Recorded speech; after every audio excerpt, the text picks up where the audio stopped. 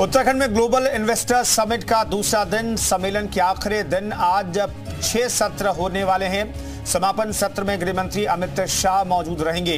सत्र को संबोधित करेंगे Amit Shah. Uttarakhand global investor summit के दूसरे दिन आज सम्मेलन में छह सत्र आयोजित हो रहे हैं। दूसरे दिन पर्यटन, नागरिक उड्डयन infrastructure forest allied sector partner country industry और स्टार्टअप जैसे तमाम सत्र हो रहे हैं। आयुष और वेलनेस पर भी चर्चा हो रही है। इसके अलावा बागवानी और पुष्प उत्पादन पार्टनर कंट्री सत्र का भी आयोजन हो रहा है। समापन सत्र में गृहमंत्री अमित शाह मुख्य अतिथि होंगे और उनके भाषण से ये समिट जो है, वो संपन्न होगा।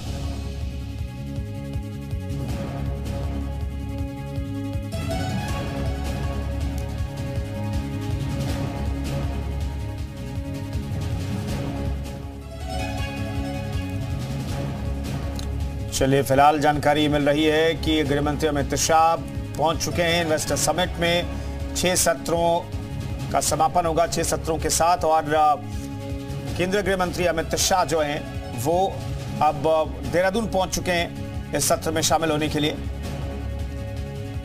तो जीआईएस का दूसरा और आखिरी दिन है आज, और समापन सत्र में शामिल होंगे केंद्रीय गृह मंत्री अमित शाह। कल प्रधानमंत्री नरेंद्र मोदी ने इस जीआईएस का उद्घाटन किया था। सफल, ये आप कह सकते हैं, जीआईएस उत्तराखंड सरकार के नज़रिए से। और चूँकि कल चवालीस हज़ार करोड़ के जो ग्राउंड ब्रेकिंग सेरेमनी भी एक तरीके से हो गई थी, यानी कि चवालीस हज़ार करोड़ का जो काम है, जो एमओयू हुए हैं, उस पर काम भी शुरू हो चुका है। कुल मिलाकर के तीन लाख करोड़ से ज़्यादा के एमओयू सरकार और तमाम औद्योगिक संगठनों और औद्योगिक घरानों के साथ हुए हैं, जिसमें से चवालीस हज़ार करोड़ के काम की शुरुआत भी कर दी गई है।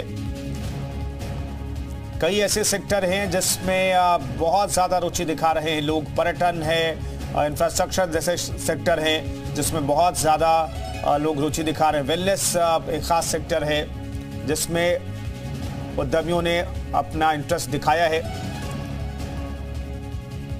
तो सफल इन्वेस्टर समिट का आगाज़ कल हुआ है, क्योंकि जिस लक्ष्य को लेकर के मुख्यमंत्री धामी आगे बढ़े थे। इन्वेस्टर समिट के आयोजन की प्लानिंग उन्होंने की थी। उस लक्ष्य से कहीं ज़्यादा इन्वेस्टमेंट को लेकर के एमओयू साइन हुए हैं। ढाई लाख करोड़ का लक्ष्य लेकर के धामी सरकार आगे बढ़ी थी। लंदन से लेकर के दुबई तक में रोड शो किए गए। वहाँ पर कार्यक्रम हुए।